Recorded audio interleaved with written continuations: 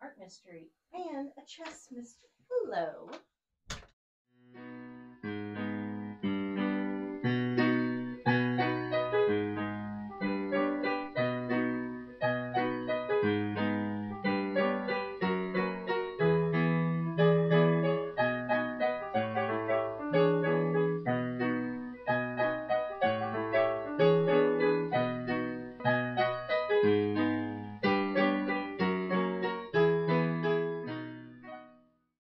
Today I'm I'm sorry, there's something on my sleeve. Oh, looks like Cass Laurs wrote an intro over a I think it was a Douglas fir martini last night with some Italian food. So let's see what she wrote. Uh, today we're going to be cheeky little shoe designers um, and make something that, frankly, I'm shocked hasn't reemerged as a trend: shoe clips. Okay, I'm intrigued. Um, we're going to use scrap leather. So this project is a cheap, low-stakes entry point if you want to dabble in leathercraft or spice up some lackluster shoes. Well, let's pop over and look at the ingredients. Scrap leather, thick and thin. A utility knife. Barges cement. A tracing tool. Metal shoe clips, a hammer, and if you're an absolute maniac, a shoe anvil. Where to start on this one? I was preparing for a photo shoot a year or so ago, and I wanted some interesting shoes for the shoot, and like I just either couldn't find them or couldn't afford them or whatever. And I was like, shoe clips? Because I haven't really heard about shoe clips. Like I have some examples here um, from like probably the 80s. They're nice and dusty. Anyway, and they usually look a little more kind of Easter sort of vibe. And so I started working with them, and then I, for some reason, I started really wimpy, like tiny, like, you know, like I was scared to go too big or something. Also, this looks like, um, what is that soup that has like little stars? Oh, it's literally called like chicken stars or something. Yeah, yeah. anyway, so for some reason, I started small and like, no, you got to go big, you got to go extra. And so I don't have any background really in leather shoes, anything like that. It's kind of scary. And I was like, well, what if I just kind of start? I don't know how to make a shoe clip. I'm just going to start. I went to, I think I went to Scrap in Portland. There's also a place called Oregon Leather. And probably as far as sourcing, I'm sure like Etsy. I think I just see like leather online. Um, I wonder if even like a shoe repair place. Maybe, maybe I don't know. Um, I bet there's. Sure I bet there's so many sources I don't even know about. Yeah. so, um, but, or if a person like makes leather bags, maybe like a maker lives in your city or whatever, you know. Depending on the size of the clip you want, kind of get your scrap piled together. And let me see some of the ones I've made. Let's see if I can get a rough estimate. Um, depends on obviously the shoe and everything, but it looks like it is about, come on, it's about three inches or so. So like about three by three, give or take. Um, unless you want to go for something, you know, smaller, you could do multiples on one shoe. That could be kind of interesting. Here is my scrap pile. And there's also the potential of doing shearling. And I don't know if it's this traditional, but this one has cloth on the other side, but it'd work just as well. Although I did notice I cut a flower shape out of the, the shearling, and you cannot tell it's a shape. It just looks like uh, it's kind of a pentag pentagon, pentagon, like pentagram, pentagram, pentagon. um, and so, and then this one that's a square looks like a push broom, kind of like a scrub brush, whatever that is, you know. Anyway, so, but shearling is an option if you want some more texture. And um, I probably won't get into this today. That might be a future video, but you can also paint them various ways.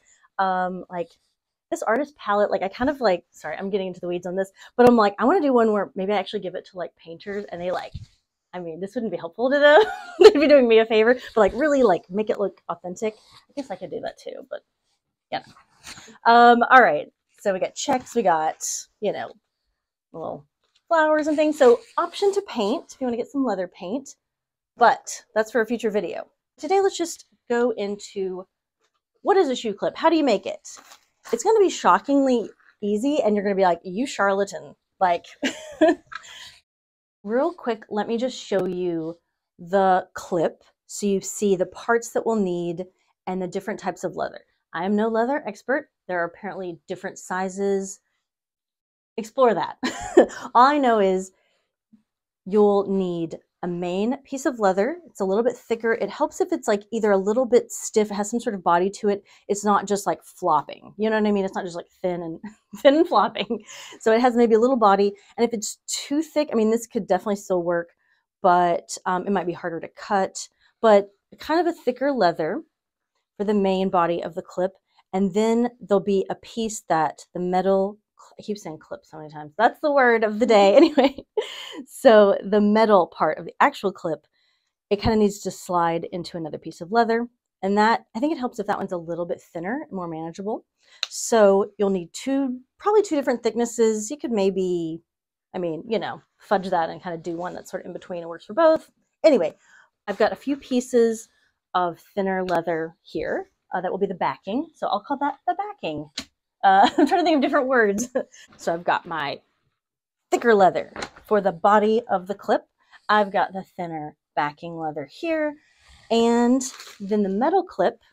And I know it's annoying if you just want to, like, I just want to make like a couple of clips and maybe there's a way online you can just get like a couple of, of these, but I had to get um, about 24 pair, I think, or something. So you might have to get a few, but I think it's like 10 bucks. I mean, I don't know, it's kind of worth it.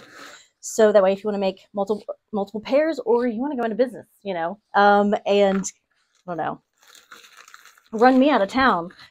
I think there might be different sizes. I feel like I've seen some that are longer and almost look like a barrette. I don't, I don't know, um, but this is just, I don't know.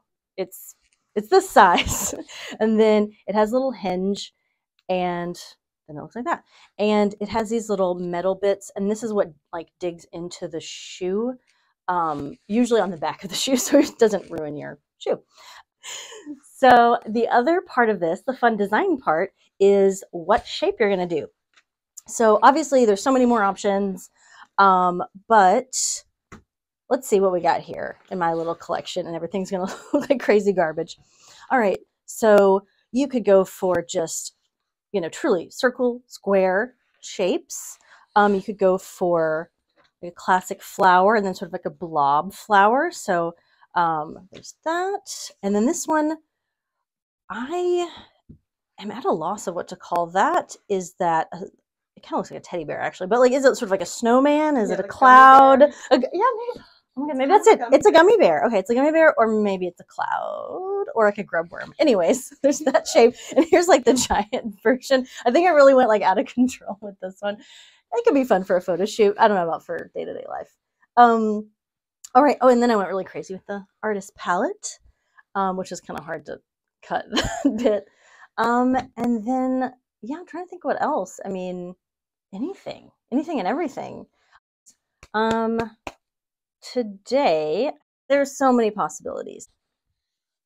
Flower and blob flower, I think, for me. But how to cut the leather?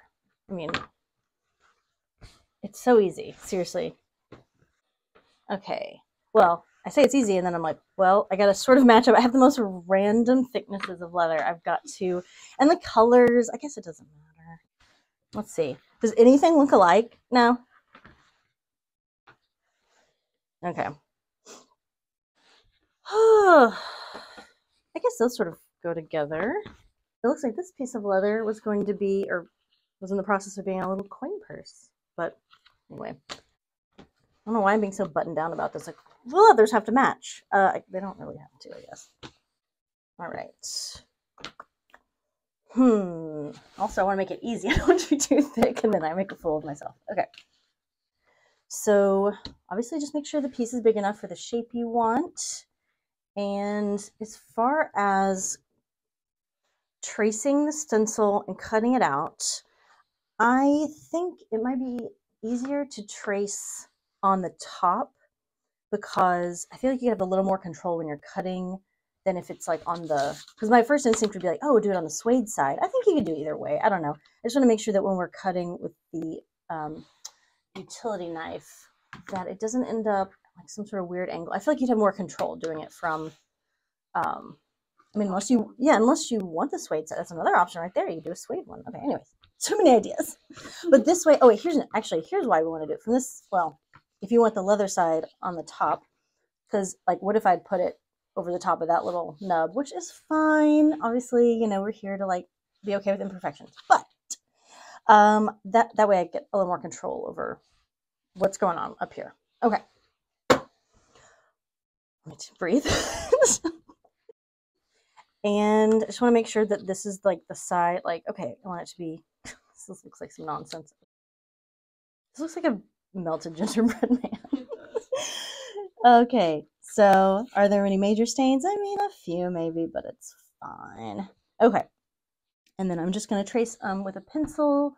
You could also maybe do a Sharpie. I'm trying to think. The only thing is when you're cutting, if you don't plan on painting it, just you really would have to like give it a wide berth as far as like, you know, cutting, like not including the Sharpie unless you want to um, in it. You know what I'm saying? So this way it'll be kind of faint. It's okay if you see a little bit of it, but you see what I'm saying? It's, a Sharpie just, you know, might be more work trying to slice around it. I love that I create problems and then I'm like, here's how to get out of this jam that I created for you. I could just say, use a pencil. but no. All right. There's that. It's kind of faint, but there you go. And then this one. And obviously, if you have a bigger piece, you know, you might want to sort of tuck it into corners so you can save as much leather as you want. Or depending on, you know, like again, the flaws.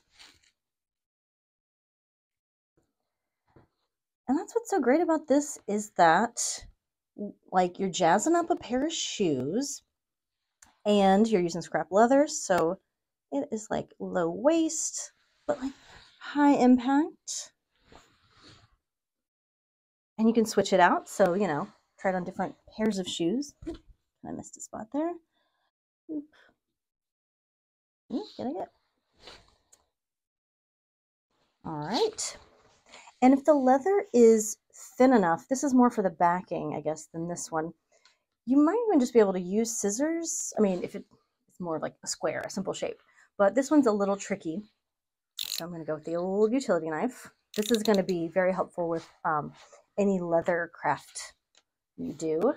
Um, so I think it's helpful to sort of almost like hold it like a pencil for the first round and almost like draw a little like you're just trying to sketch and or etch or whatever um like just sort of tracing over this line very faintly like do, don't worry about like really like you know piercing the leather like that we're just going to be doing it. it's hard to see on camera. like you're just yeah scoring. Oh look at that. Okay. Um you know stay in your lane. Uh, this is i have no idea what i'm talking about. No scoring. Um all right. So yes, scoring. Uh just along and you might like get off track, but like let me just get right back on. And so I'm just gonna be going all the way around this one and this one.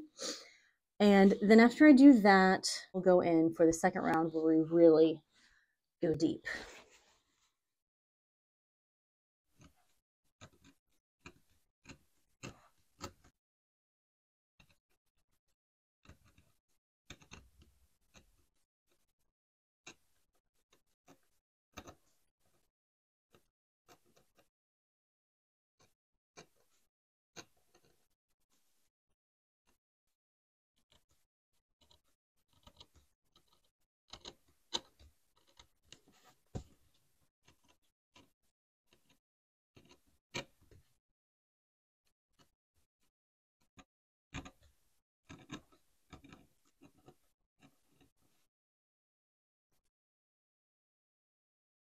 I have just gone around it and scored it. And, you know, I did the best I could. Obviously, it's not perfection. And uh, so you can see that I, well, I don't know if you can see, but I've gone about halfway through, if that even. And now I'm going to go deeper with the utility knife so I can cut all the way through. And so, and obviously, like, be careful. I don't know. Should I just say that? Be careful. You know, I don't want to be sued for malpractice. Oh, yeah, I guess I didn't really mention a cutting mat. I'm going to go all the way through with my utility knife, using that as a guide, and so I'm going to be cutting all the way, and so you need to be mindful of what you're cutting on. Um, so I've got my, I don't know if this is a self-healing cutting mat, but it's a cutting mat, um, but, you know, a, a charcuterie board or a piece of cardboard or something. Anyways, so let me dig in.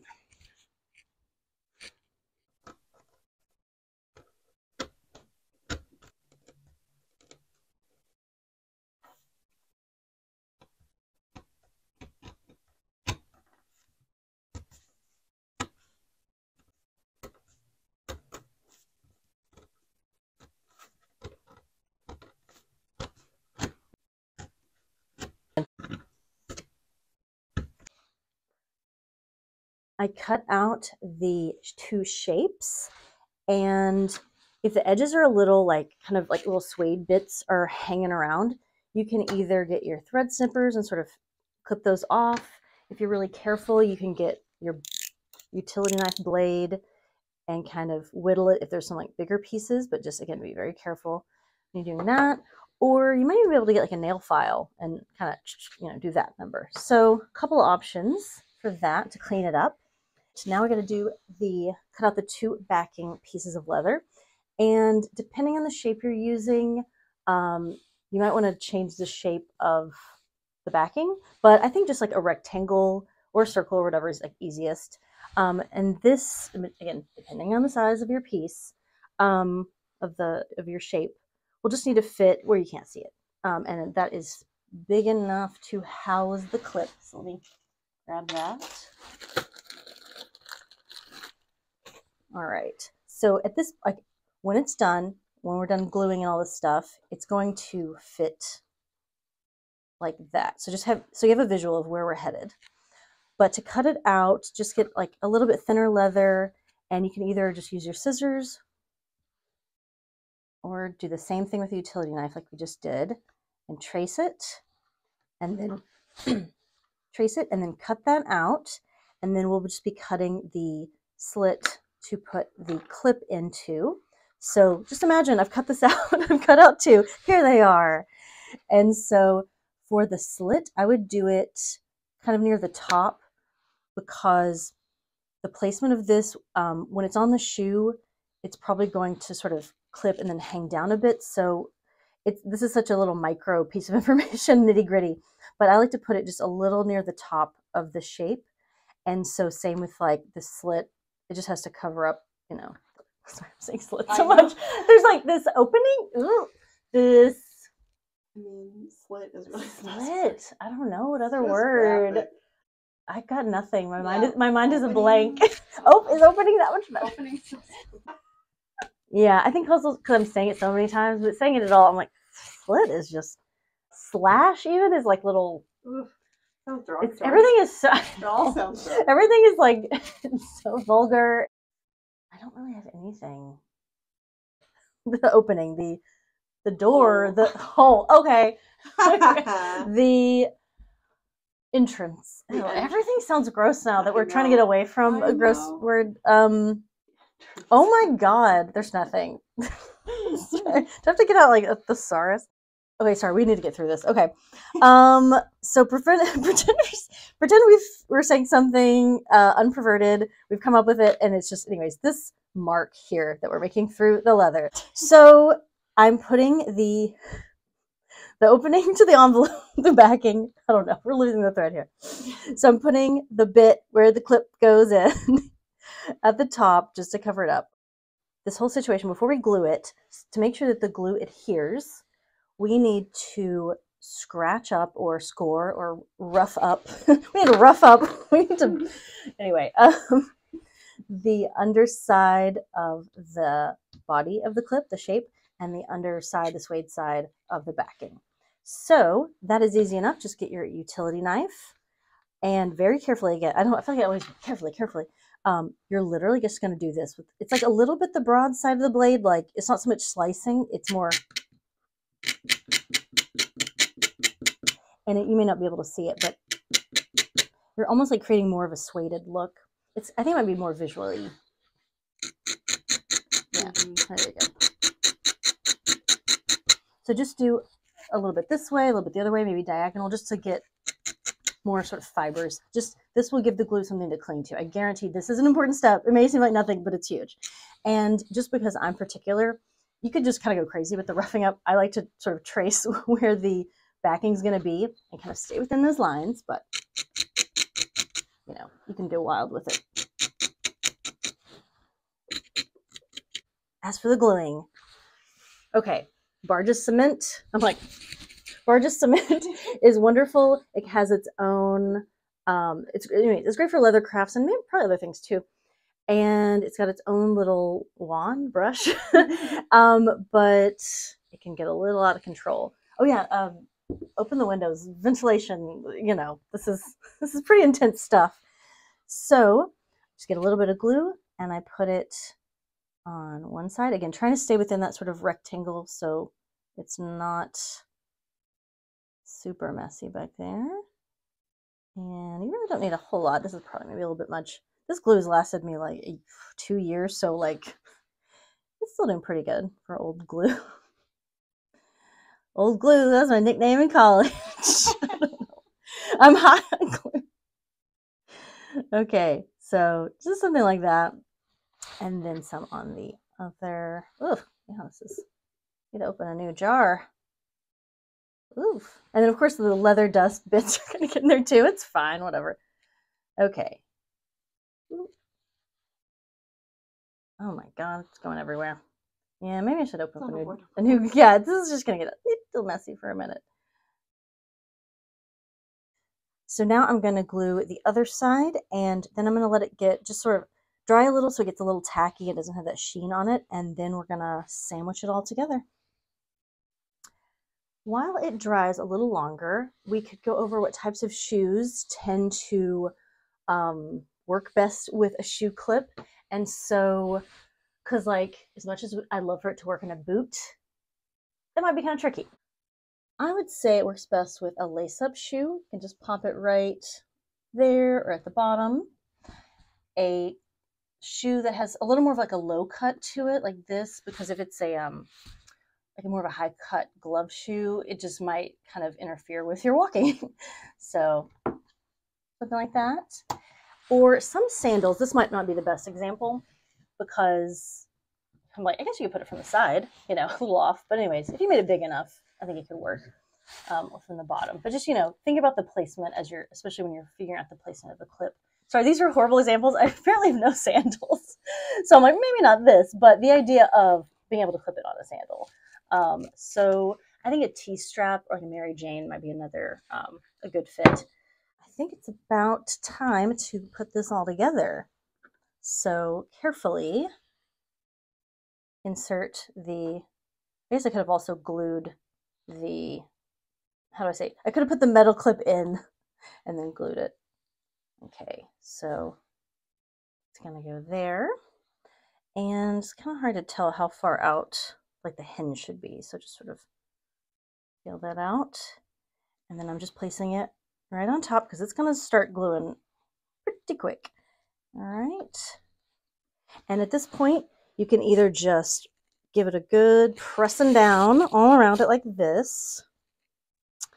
Or if you're an absolute freak, you might have a shoe anvil. if you know if you're getting into leather crafts. I feel like I keep saying leathercraft and it sounds like it should be a board game like Worlds of Warcraft. like dorks of leathercraft or something. Like anyway, if you have a shoe anvil, we can I'll show you the other method real quick. All right, so same deal. Again, maybe I could have put that in there before I put the glue down. All right, line that up. And it's pretty much this. You can also do it on the corner of a desk. If you want to really feel like a badass, like a, a Viking or something, I would say put some protection down on the anvil or the corner of the desk, and then maybe also on top of this. And, well, I guess you could just go right for it. Anyways, basically, you would use the hammer to just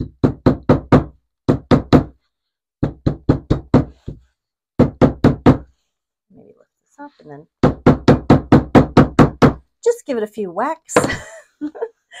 and that way it'll really seal that bond. And I might go, I'm gonna do it on this one too while we're at it, but you can totally just like press down firmly for like five seconds.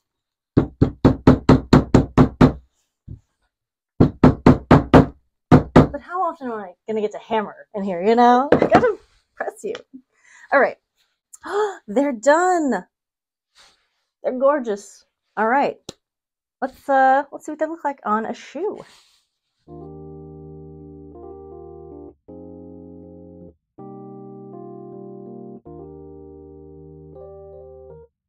Here they are.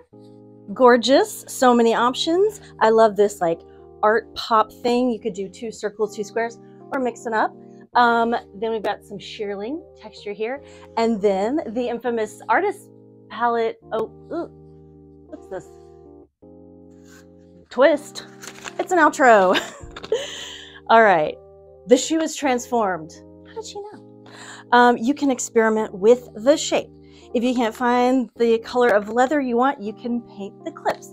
A cornucopia, actually, a cornucopia shoe clip would be cute. I can see it. Fruit coming out of a horn of plenty. Um, someone definitely do that. This is definitely one for the books. Now go on, you good thing. Okay, I just finished it. Getting that mindset. Okay. Oh, I can really smell that glue. My- hmm. Um, we can't already be tired. Okay, okay. Truly, that glue. This is a goose. Okay. Feels true. Find my True truth. yourself. Oh my God. Um. Ugh. We're perfect. We are. Okay. Right. Some leather dust. I don't. And just like freeze.